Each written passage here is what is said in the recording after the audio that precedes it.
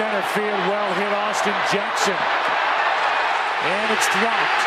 Jackson and Raburn came together, and Kinsler will end up at second base.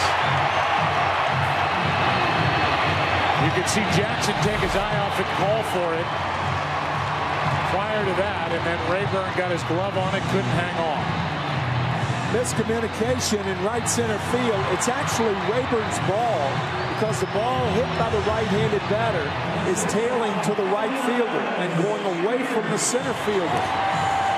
So it's Raburn's ball, and he drops it when Jackson collides.